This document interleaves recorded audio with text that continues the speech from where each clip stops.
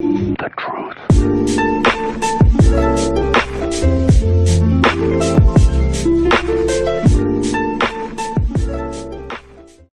Hello guys, Chikanana is back with another video and I'm here to address anyone out here who thinks it's fine and very sweet to go out and harass a specific actress simply because they're just doing their job. Wait, really?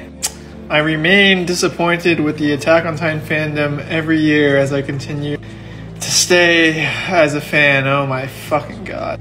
Guys, you can't. You can't fucking harass someone for doing their job as an actor or actress. In fact, you can't condemn someone for like a fictional person's action. It's. Guys, come on, come on, come on. We all know better. You see the shit, you cancel those folks immediately. Like, fucking just stop that. So, if you don't know the situation, basically, uh, Ayane Sakura, who did the voice of Gabi from Attack on Titan, has been receiving death threats for no reason at all.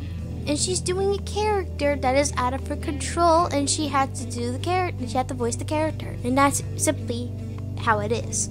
So basically, in the show, she killed off as one lovable character everyone fell in love with, and I'm not gonna specify who it is because it is hard to say the least. I don't want you to guys go freaking crying on me. Just ask me, why did you just say this to me?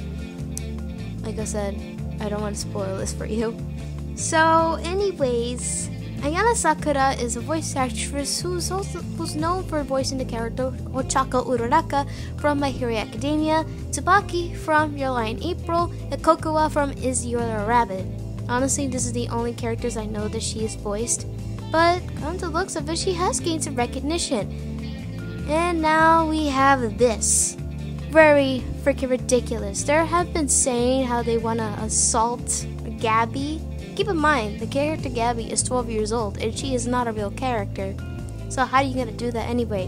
Would you just find an item in your house and just pretend that you're doing it with her or something? That's just so gross.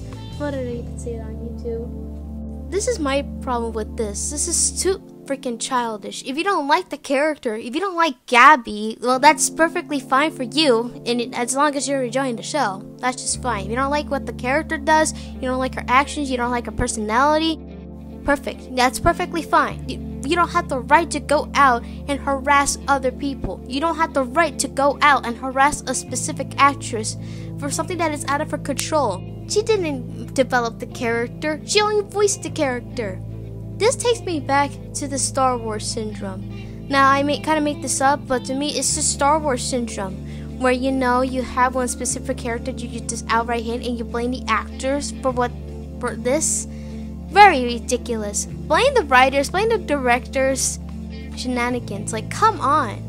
If you hate how the how one specific actor, let's say uh, Leo DiCaprio is doing, blame the director. If you hate how the character is, blame the writers. So you could go outright and blame Hajime Isayama. I don't really care. For me, and his defense, it's not really his fault either because he's just doing how he wants the story to progress. If you don't like how he is taking that trope, you know, that's okay. You know, everyone has their own opinions. Everyone has their own taste of their own path when it comes to, you know, pressing on the show forward. It's very ridiculous how people think they think it's fine to go out of their way to harass a specific actress for no reason whatsoever. All she's doing is her job. It's all a part of entertainment. Uh, Either you like it or you don't. If you don't like, if you start to dislike the show altogether mainly because of one event, then you're just basically wasting your time. That's all I had to say. Don't be stupid. Don't be stupid, and if you don't want to support the show, find something else to watch. Find something else to entertain that, that entertains you. Probably go watch some hens wearing ties, or I don't know, just looking at octopus's tentacles, if you know what I mean.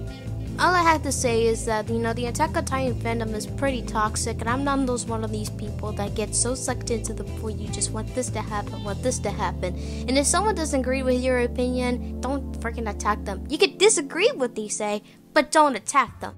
It's literally infantile for everybody. It's it's it's just stupid to me. So I don't want to lose more brain cells, and I kind of get easily frustrated when I stutter because I don't really talk so much. That's why I prefer writing scripts. But in this case, I had to go. I need to say certain things unscripted. I need to get it off of my chest. Anyways, that is all I have to say about this dumb old drama that is shouldn't be that should have never existed to begin with. Ayane, I'm so sorry for what they've been saying to you. You know, you don't deserve this much hatred. And if you left the show because of all of this, I completely understand why. But don't let it get to you. Keep on doing what you're doing. It's your job, you know. Be happy that you have a role. Be happy you have a job. Everything is fine. So, ganbatte. I'm sorry, I don't really speak that much Japanese, but that's all I had to say. Good luck.